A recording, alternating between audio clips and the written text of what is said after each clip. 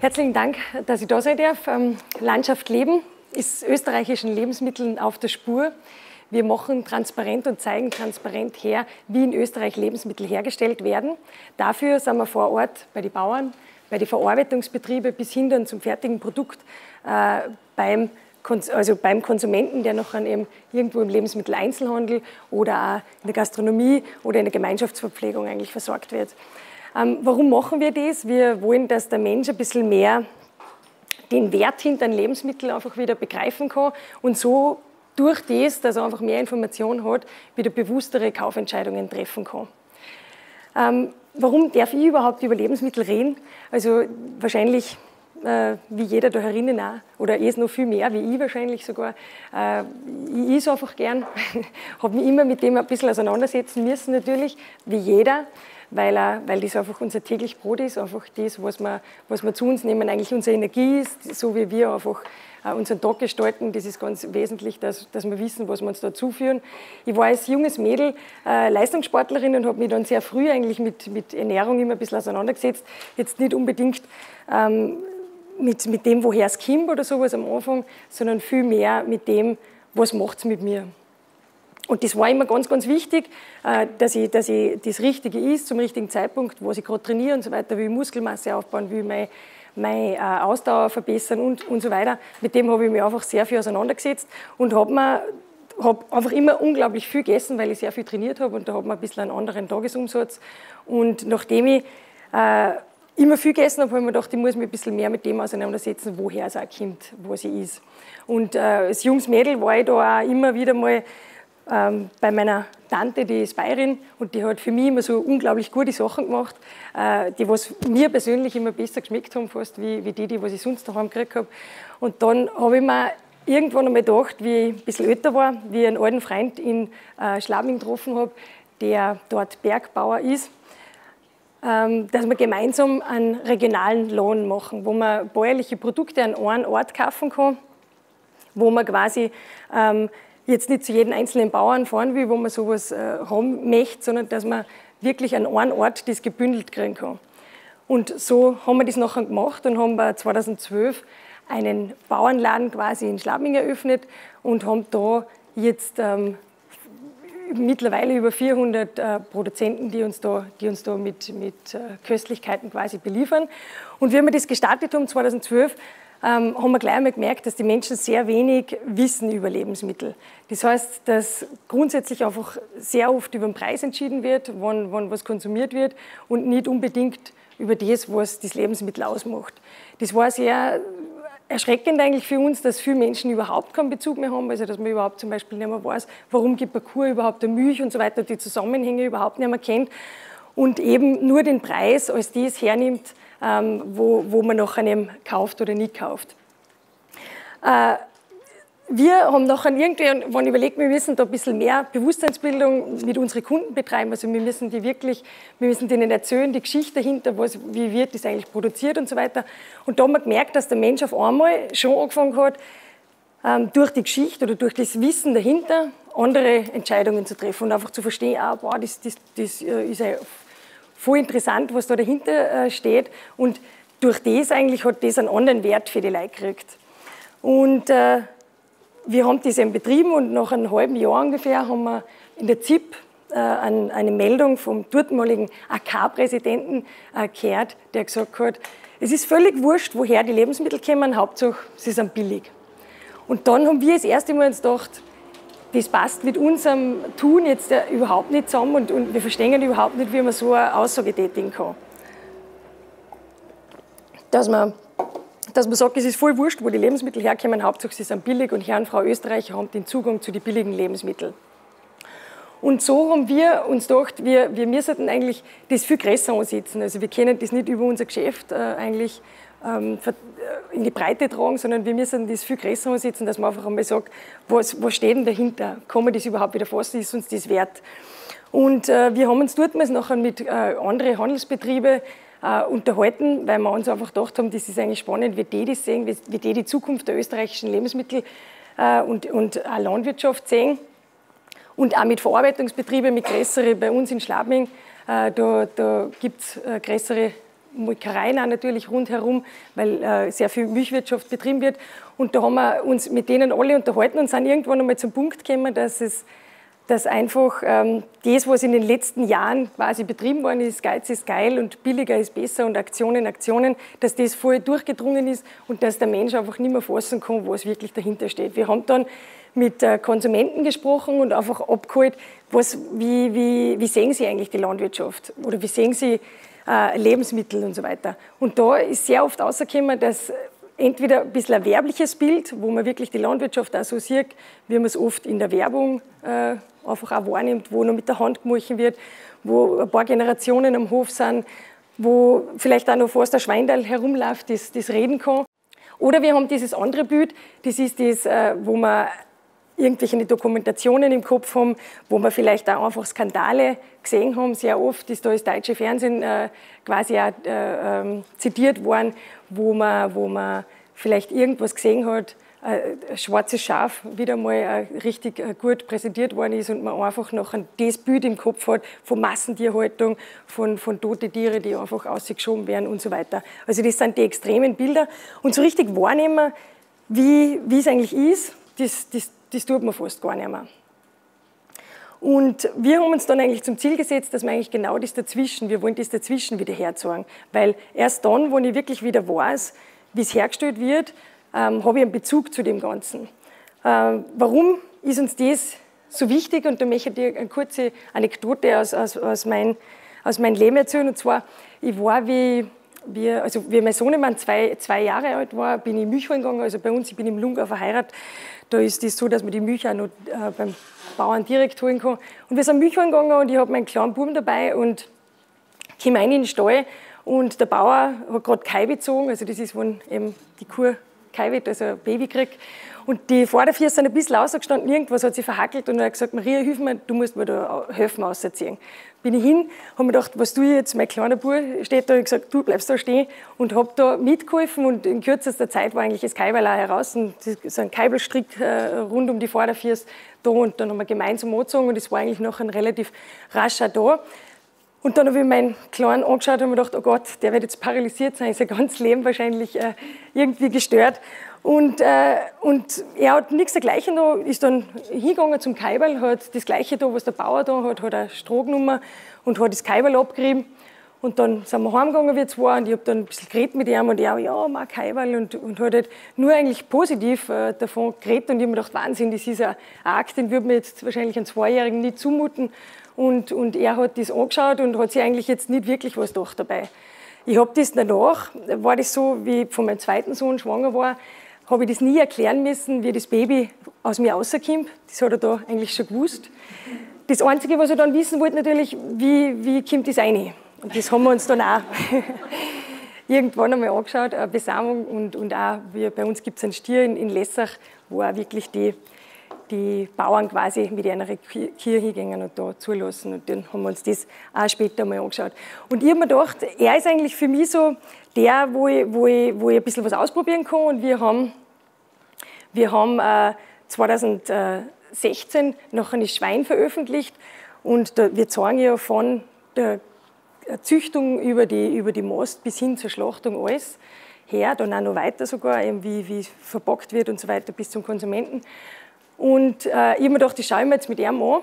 Und da war er fünf und habe mir gedacht, ja, der, der, das teste ich jetzt einmal ab, wie es ihm da geht eigentlich. Er ist ein leidenschaftlicher Fleischesser, also mein Sohn, der darf am liebsten sieben Tage die Woche Fleisch essen.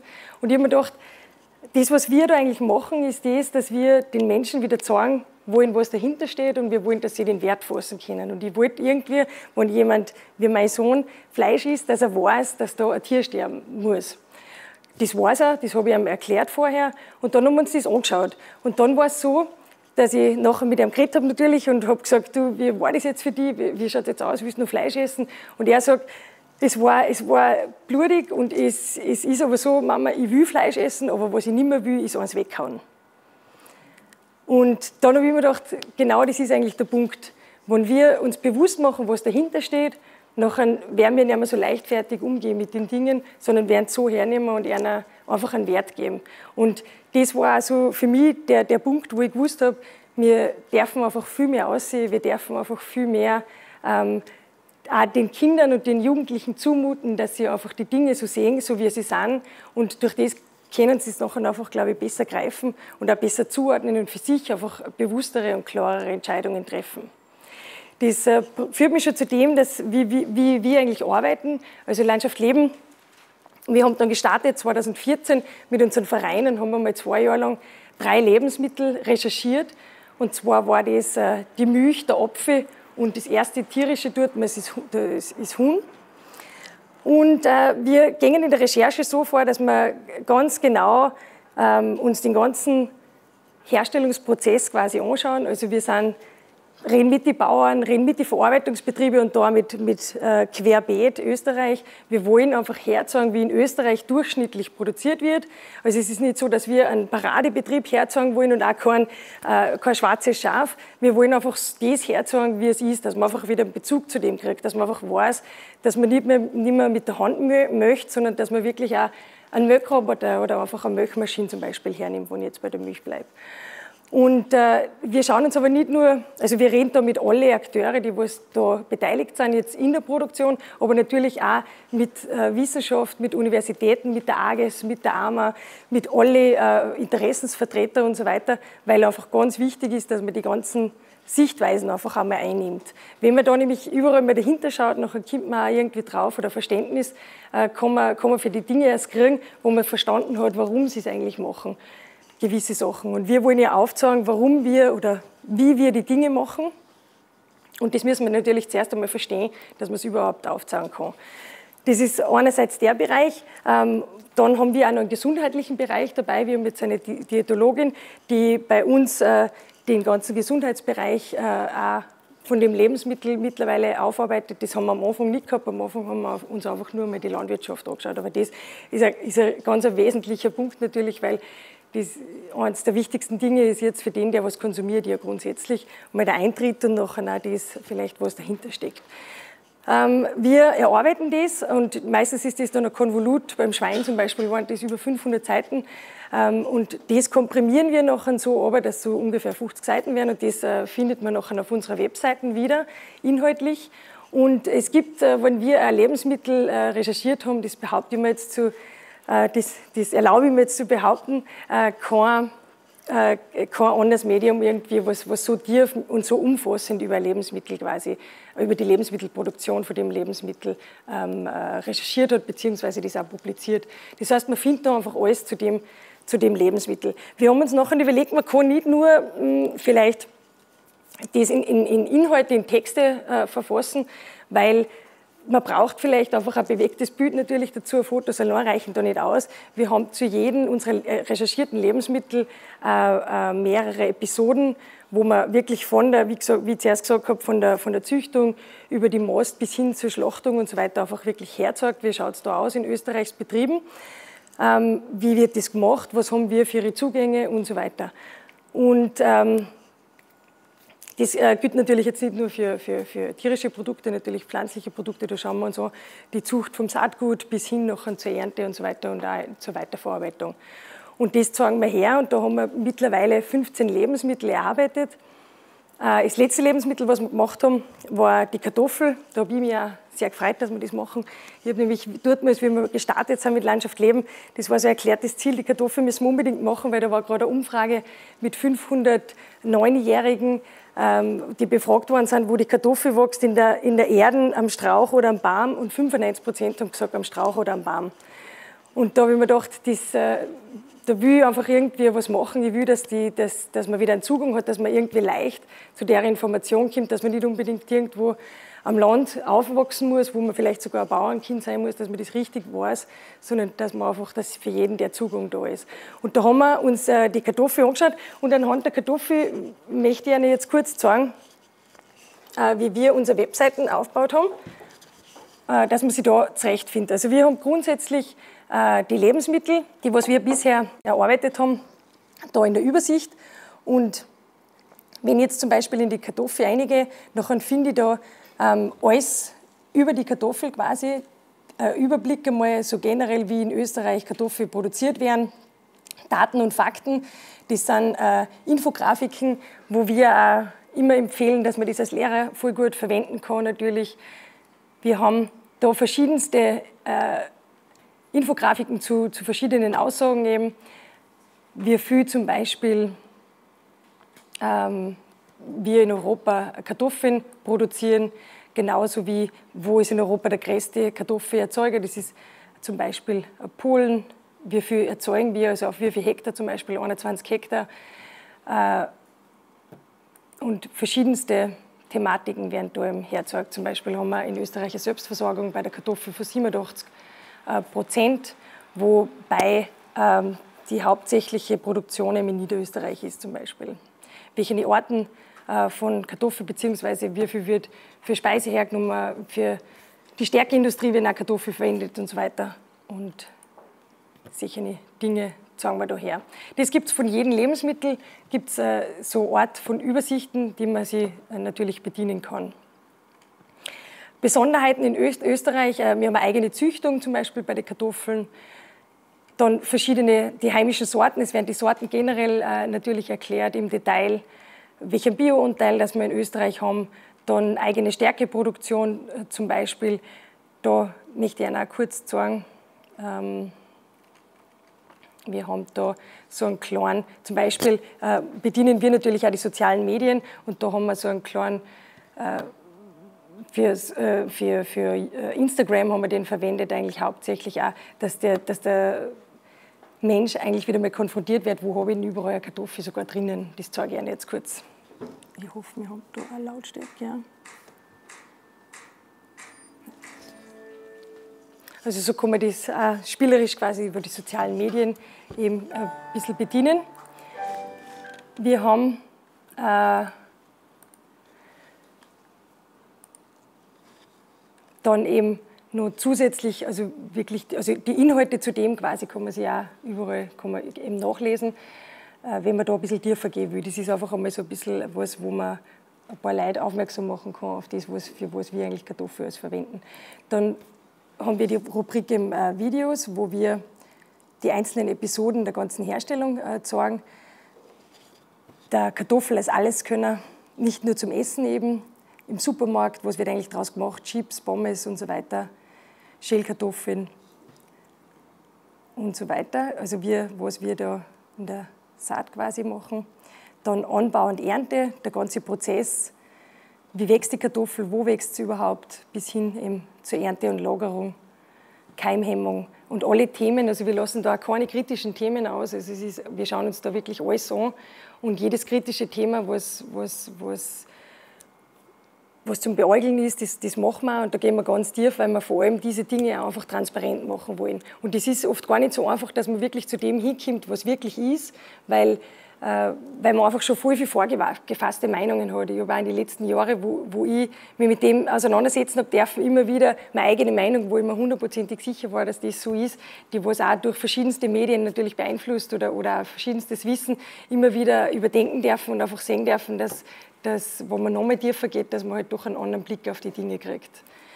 Ähm, genau, also es gibt je nachdem, wie umfangreich ein Lebensmittel ist, bis zu acht Episoden. Zum Beispiel eben, äh, bei, bei der Kartoffel sind das dann äh, vier, da kommt äh, Boden- und Pflanzenschutz nur dazu. Das ist sehr oft ein Thema natürlich, das wir auch ganz äh, gut ausgearbeitet haben, ähm, wo man einfach noch einmal sich ein Bild machen kann, das, das eben nicht gefärbt ist, sondern einfach einmal die Faktenlage äh, sich, sich aneignen kann.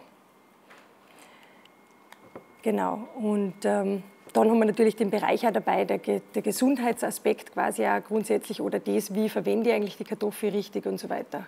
Das ist, äh, finde ich, ganz spannend. Das haben wir auch drinnen äh, in den Tipps quasi, wo wir äh, zum Beispiel auch darüber schreiben, wie soll ich es am besten aufbewahren daheim, ähm, was tue ich mit den keimenden Kartoffeln, darf ich die noch essen oder nicht?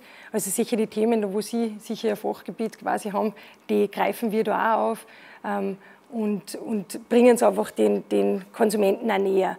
Wie schaffen wir das? Also wir, wir versuchen, äh, dass wir dass wir eben über soziale Medien, über, über unsere Kanäle das einerseits machen und andererseits haben wir in den letzten eineinhalb Jahren eigentlich sehr gute Medienkooperationen in dem Sinn, dass einfach viel ähm, Printmedien vor allem äh, gesehen haben, dass wenn ein Lebensmittel von uns ausgearbeitet worden ist, dass man da wirklich auf fundiertes Wissen zugreifen kann und sie sich dann eigentlich nicht in der Recherche einstürzen müssen, sondern auf unser äh, Wissen bereits zugreifen können und nachher nicht auf ein Halbwissen quasi aufbauend einer Geschichte draus machen, sondern auf ähm, wirkliche Fakten. Und deshalb haben wir in den letzten eineinhalb Jahren äh, über 900 äh, Presseinhalte quasi äh, liefern können. Und das ist für uns natürlich auch sehr wertvoll. Wir sind äh, sehr viel im ORF zum Beispiel, bei ORF Konkret oder Thema mit unseren Inhalten, wo wir eben immer genau diese, diese Inhalte quasi äh, publizieren. Uns geht es da nicht so um das, wie Landschaft leben, der Verein an und für sich, dass der nach außen dringt, sondern für uns sind die Inhalte das Wesentliche. Genau, also da sind verschiedenste Tipps. Ähm, Nachhaltigkeit haben wir dann äh, die, die Rubrik übernommen, wo wir jeden, jedes Lebensmittel äh, unter ökologischen und ökonomischen Aspekten zum Beispiel betrachten, gesundheitliche Aspekte. Und ähm, da haben wir noch eine eigene äh, Rubrik ähm, Gesundheit, wo wir dann eben auch wieder äh, Infografiken dazu haben, wie Kartoffel eigentlich aufgebaut ist, wie viel Kartoffeln soll man eigentlich am Tag essen, machen Kartoffeln dick, da da wir sehr oft die Dinge bearbeiten, die, die so abgefragt werden. Also wir machen immer so Umfragen vorher, was interessiert euch eigentlich zu dem Lebensmittel und da können wir eben genau solche Fragen machen, Kartoffeln dick und das beantworten wir da eben.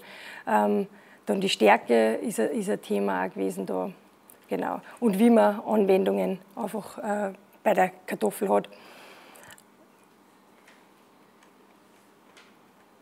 Genau, halten Kartoffel länger satt zum Beispiel war so eine Frage. Dann haben wir den Bereich äh, der Herstellung auch noch, der Weg zum Konsumenten, eben die Stärkeproduktion von der Aussaat bis zur Ernte, wo man sich einfach in jedem Bereich einfach nochmal äh, ganz tief einigen kann. Das ähm,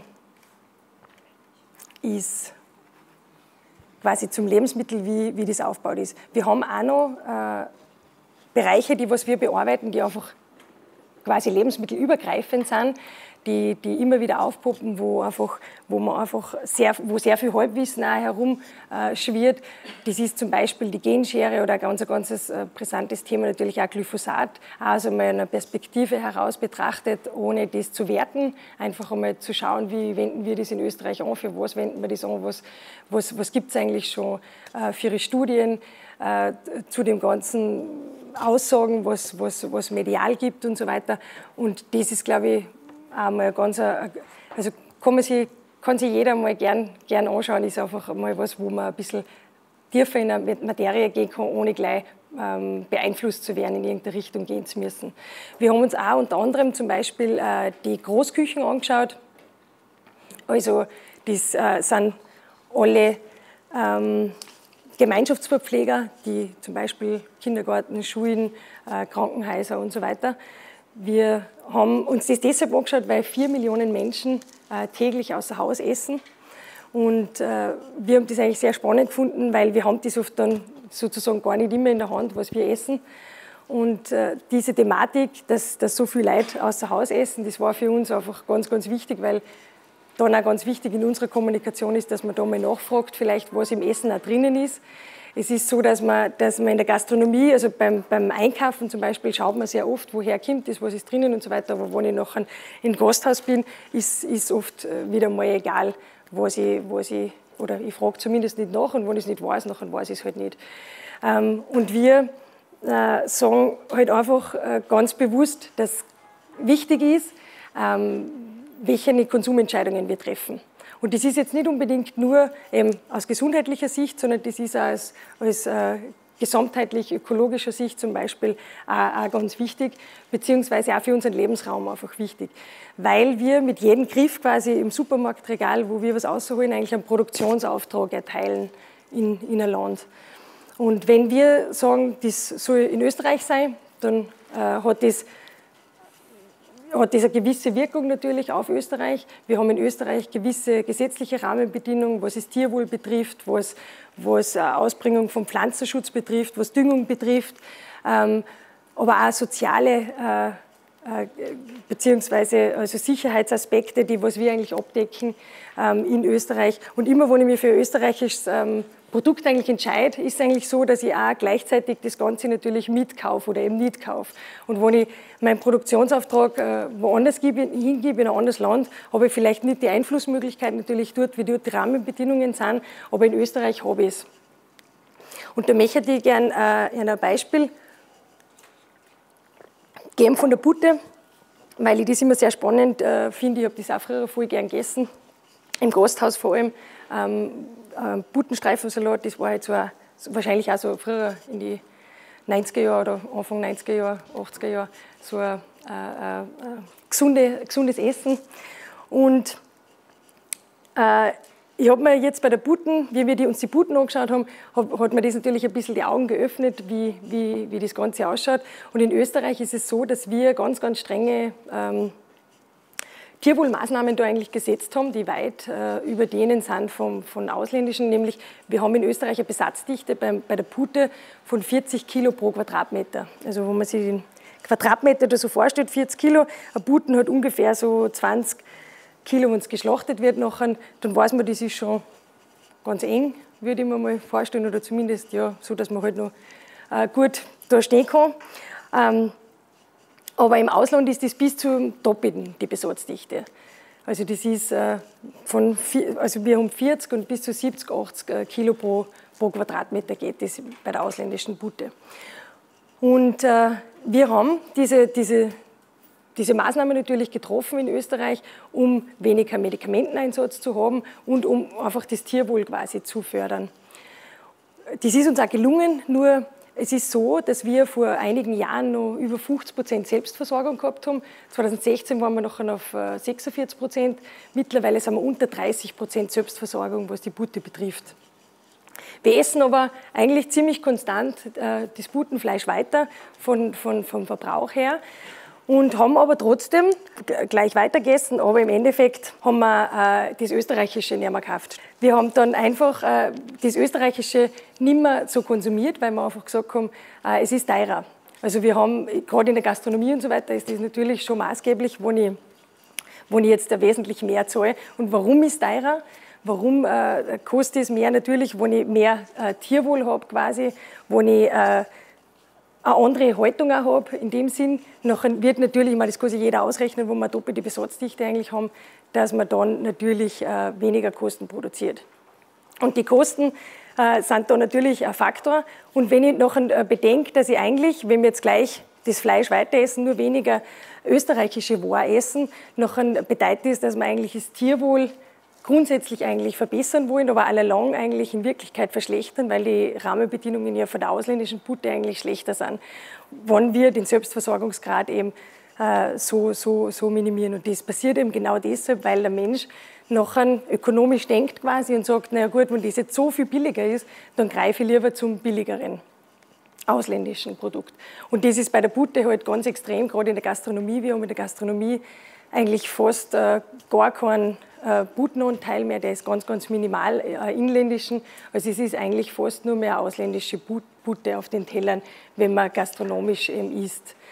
Und äh, das finde ich, ist ganz, ganz ein wesentlicher Punkt, dass man einfach einmal sich das überlegt, was wir, welche Rahmenbedingungen wir eigentlich setzen und ob die Rahmenbedingungen noch zu dem zusammenpassen, mit dem zusammenpassen, wie wir eigentlich unser Konsumverhalten haben.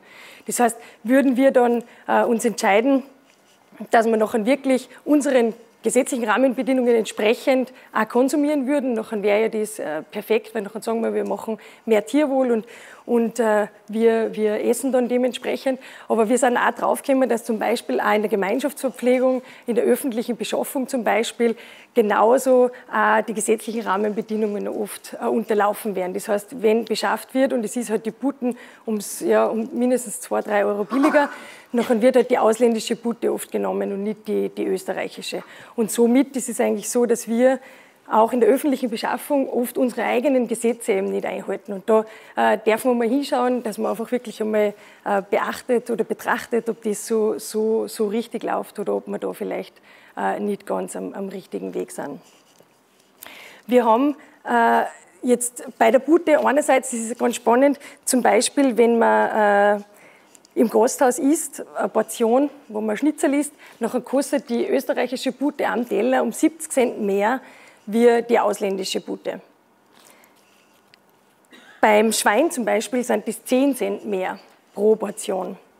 Beim Rind sind es 20 Cent mehr und bei der, beim Huhn sind es 50 Cent mehr. Und ähm, mich würde jetzt interessieren, ob irgendwer oder wie viele Leute da herinnen bereit wären, keine Ahnung, bis zu einem Euro vielleicht mehr zu zahlen für österreichische Qualität oder eben nicht. Das war wir, genau. Jetzt brauchen wir nur noch wissen, wo unser Essen herkommt. Das ist nämlich genau der Punkt. Wir wissen es oft nicht, weil wir einfach im Gasthaus nicht nachfragen.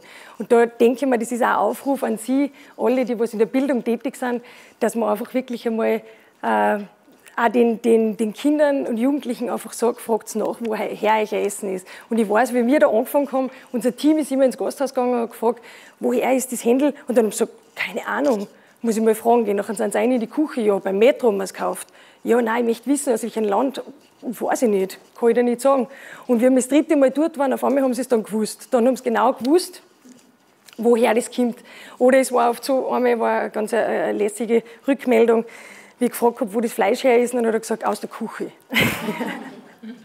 das gibt es auch. Aber wenn man da nachfragen anfängt, nachher ist das, das ist jetzt nicht nur irgendwas, natürlich ist man am Anfang einmal lästig und vielleicht haut er die eh aus, wo man zu lästig ist, aber es, es fängt einfach der, da wird da selber einfach einmal zum Nachdenken an. Okay, die wollen das wissen, warum wollen die das wissen? Bis jetzt hat das keiner wissen wollen und ich habe eigentlich immer nur bestellt und habe da geschaut nach dem Preis oder so irgendwas und habe eigentlich mir gar nicht Gedanken gemacht, ob das jetzt aus Frankreich ist, das Händel oder aus Polen oder, oder aus Ungarn oder aus Österreich, das war für mich nicht relevant. Und wenn auf einmal Leute zum Fragen anfangen, ist es auf einmal nachher relevant. Und dann, dann kann sich da in der Branche natürlich auch was ändern. Es ist so, dass mit 2020 wird ähm, in Österreich äh, eine Kennzeichnung eingeführt, und zwar mal im, im Gemeinschaftsverpflegungsbereich für die Hauptkategorien äh, Fleisch, Milchprodukte und Eier. Und das wird sicher äh, zum nächsten gleich führen, also das wird eh auch kommen bei den verarbeiteten Produkten. Ähm, und dann in weiterer Folge hoffen wir natürlich oder, oder nehmen wir an, dass das der nächste Schritt sein wird, dass das nachher in der Gastronomie äh, auch kommen wird, dass man einfach irgendwann einmal dazuschreiben muss, woher die Sachen kommen. Andere Länder zeigen uns das bereits schon vor, in der Schweiz und so weiter gibt es das ja schon, dass man einfach auch wirklich weiß, woher kommt das. Warum ist es so wichtig, dass wir wissen, woher das kommt? Ähm, für mich ist so wichtig deshalb, weil ich mir denke, wir können heute, jetzt, in, dem Augenblick, können wir die Zukunft gestalten. Und wenn wir aber kein Wissen, wo kein Wissen dahinter liegt, können wir die Zukunft zum Beispiel von der österreichischen Lebensmittelproduktion nicht mitgestalten, weil wir einfach das gar nicht dahinter sehen, was da eigentlich dahinter liegt. Und ich glaube, wir haben schon ähm, die Pflicht auch, dass wir in, in der Zeit jetzt einfach schon ähm, proaktiv unsere Zukunft gestalten dürfen. Und ich glaube, die Jugend, die zeigt uns das jetzt eh, dass die das auch wollen, jetzt aus ökologischer Sicht genauso. Und für mich ist immer so, der Zusammenhang hat, hat lang bei mir auch geführt. Und ich glaube, bei vielen Menschen äh, fehlt der, dass man eigentlich, wenn wir jetzt äh, in Österreich produzieren, zum Beispiel, wenn ich jetzt bei Milch oder Rind bleibt, dass das in Österreich was bewirkt mit der Landschaft zum Beispiel. Wir haben der Lebensraum zum Beispiel, wo ich lebe, da ist halt hauptsächlich Milchwirtschaft. Wenn es da im Lungau zum Beispiel, das ist, da ist eine starke Absiedlung. Wenn es da keine Bauern mehr gibt, dann wird das wahrscheinlich alles zuwachsen irgendwann. Es wird keinen Tourismus mehr geben und so weiter. Und das hat einfach Folgen. Und die Folgen, die gestalten wir, jeder Einzelne von uns, du und ich, wir gestalten das mit jeder Konsumaktion, die was wir tätigen, eigentlich mit. Das ist jetzt, das ist nicht nur Lebensmittel natürlich, das geht darüber hinaus, aber Fürs Lebensmittel jedenfalls ist es so, dass wir mit unserer Kaufentscheidung im Augenblick, das, was wir dann, dass das eigentlich die Zukunft äh, schreibt und gestaltet.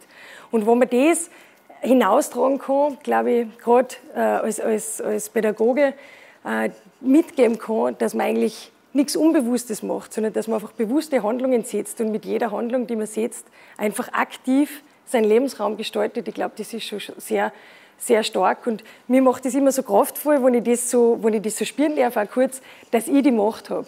Weil, und das glaube ich hat jeder immer mal, wenn er, wenn er so Entscheidungen trifft.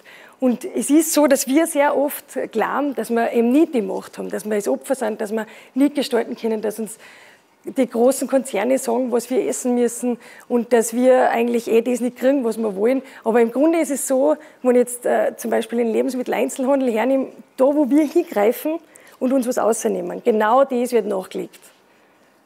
Und das ist die Macht, was wir haben. Wenn wir da nicht schauen, weil wir sagen, es ist wurscht, es ist egal, ob es da morgen noch einen Bauern gibt und mir ist eigentlich eh wurscht, ich möchte eh lieber einen Wald, dass alles zuwächst, das war eh schön, ähm, dann, dann war das auch schon wieder bewusste Entscheidung und auch in Ordnung. Aber wenn ich, wenn ich nicht weiß, wenn ich eigentlich zu irgendwas greife, nur weil es billig ist, und dann sage ich, warum es denn da zu und ich möchte eigentlich da auf Urlaub fahren und warum ist das so, nachher ist es eine unbewusste Entscheidung, dann gestaltet man nicht. Und äh, wir, also in der, in der oder ich sage sag wir, weil ich auch Wirtschaftspädagogin bin, eine Gelernte, ähm, drum, wir in der Bildung haben es einfach in der Hand, dass wir die Bilder zeichnen von morgen. Also das steckt nicht umsonst drin in der Bildung. Die Bilder, die was wir heute quasi den Menschen schon geben, was wir gestalten können, die, die, die treffen dann ein. Das ist die selbsterfüllende Prophezeiung, glaube ich. Ähm, wir haben, äh, das möchte ich vielleicht auch noch ganz kurz sagen, wir haben in Österreich in den letzten Jahren so, so eine Tendenz, dass wir natürlich sehr viel über Aktionen gesteuert sind. Und da erwische ich mich immer wieder selber, wo ich nachher wieder mal was kaufe, äh, wo dort steht, keine Ahnung, du zahlst zwei und kriegst drei, denke ich mir, ah, das brauche ich eh, oder eigentlich hätte ich nur eins braucht, aber jetzt ist das so reizvoll, dass ich mir denke, jetzt nehme ich das ähm, und dann passiert es mir daheim, dass ich mir denke, ja, puh, das brauche ich jetzt eigentlich gar nicht mehr, aber jetzt ist es halt trotzdem zum Beispiel. Oder es wird mir sogar schlecht oder so irgendwas. Und mit dem, dass ich das da habe, weiß ich aber eigentlich jetzt mit meinem Wissen, dass ich das total entwertet habe, das Lebensmittel, dass ich eigentlich den ganzen Wert genommen habe. Weil, weil das ja grundsätzlich irgendwer zahlen muss. Muss der, der Landwirt bezahlen oder ist irgendwo in der Wertschöpfung muss da, muss da irgendwer für das, für das zahlen. Und das ist so, wo ich mir immer denke, das, das, äh, da darf man ein bisschen umdenken. Und da möchte ich ein Beispiel sagen, äh, gerade beim Schweinefleisch, weil das ist was, was sehr, wir essen im Jahr 38,5 Kilo äh, Schweinefleisch pro Kopf. Und jetzt wird der eine oder andere wird sich denken, nein, ich sicher nicht. Ähm, ich habe mir das auch gedacht. ich habe mir gedacht, nein, ich nur einen, einen Schweinsbraten und vielleicht im Jahr maximal und dann vielleicht noch ja, vielleicht einmal Schweinsmedaillons irgendwo oder beim Grillen, aber mehr, also 38,5 Kilo, ich nicht. Dann bin ich schnell draufgekommen, naja, Schweinefleisch ist halt überall drin. Im Schinken, in der Speck ist Schwein meistens äh, immer. Äh, dann in, in, Wurstprodukte, verarbeitete Produkte, auf meiner Salami oder auf meiner Pizza, was auch immer, überall, sogar bei uns eh in alle Streichwürste und so weiter, überall haben wir eigentlich äh, Schwein drinnen und da vergessen wir das voll oft. Und ähm, beim Schwein ist so, dass wir in Österreich da ganz, ganz äh, preissensibel sind. Das heißt, wenn da Aktion ist, da laufen die Leute hin und kaufen ohne Ende. Und so ist zum Beispiel bei einem, bei einem Handelsunternehmen, die haben uns das äh, gesagt, wenn sie eine Aktion machen mit Schweinefleisch um 4,99 Euro das Kilo, was ich schon sehr günstig finde, weil ich mir immer denke, Wahnsinn, ein Brot äh, kostet fast mehr. das ist ein Fleisch. Äh, 4,99 Euro das Kilo, da werden 17 Tonnen an einem Wochenende verkauft. Und wenn Sie zwei Wochen später eine Aktion machen mit 3,99 Euro fürs Kilo Schweinefleisch, dann werden 70 Tonnen verkauft. Und dann haben wir immer wieder so, äh, bei Aktionen sind wir äh, hingegangen und haben die Leute interviewt, was macht jetzt mit dem, mit dem Schweinefleisch, wie viele wie viel Kinder müsst ihr ernähren so ungefähr. Und dann haben wir sehr viel gesagt, nein, ich habe eigentlich eh, ich bin ein Single, aber ich habe mir gedacht, wenn es jetzt so billig ist, nehme ich ein bisschen mehr. Ja, aber wie, wie viel ist da? Ja, ja, mal schauen, was wegkommt, kommt weg und das andere kann eh weghauen, weil das hat eh nichts gekostet. Und genau das ist das, wo wir, wo wir ähm, einfach hinschauen dürfen und sagen dürfen, wo tue ich das und auch weitergeben dürfen an die, an, an, an die nächste Generation. Schau, schau hin, was du tust. Wenn, wenn ein Tier für irgendwas sterben will, muss, dann, dann ähm, dann soll es vielleicht nicht weggeschmissen werden. Das finde ich eine ganz starke Aussage von, mein, von meinem Sohnemann.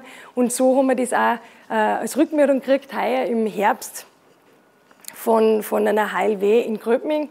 Da hat eine Lehrerin arbeitet schon länger mit unseren mit unsere Filmen. Und die hat sich das Schwein angeschaut mit den Schülerinnen. Und die sind nachher, äh, haben das am Schulschluss gemacht und haben nachher äh, im September, wie es zum Schulgehen wieder war, haben sie gesagt, sie möchten gern äh, beim Speiseplan ein bisschen mitreden und sie würden gern weniger Fleisch haben, kleinere Portionen, aber dafür möchten sie beim Fleisch ein Fleisch, wo sie wissen, dass ein gutes Tierwohl dahinter gestanden ist. Und da hat sie nachher auch gesagt, Wahnsinn, sie hätte gar nicht erwartet, dass das, dass das äh, passieren kann. Und sie hat uns das dann auch gleich zurückgemeldet und, und wir waren echt beeindruckt, weil genau das ist eigentlich das, glaube ich, was, was das Wesentliche ist. Das heißt nicht, dass irgendwer zu irgendwas aufhören soll zum Essen, sondern einfach ein bewusstes, ein bewusstes Konsumieren dessen, äh, was, was einfach einen gewissen Wert hat und, und äh, einen gewissen Umgang mit Dingen, wo man einfach wertschätzt, was dahinter steht. Das ist unser Ansinnen. Wir haben, wie gesagt, mit unseren Filmen und so weiter, äh, schauen wir natürlich auch immer, dass wir in Schulen reinkommen, also sehr viele Lehrer dann unsere Inhalte auch verwenden.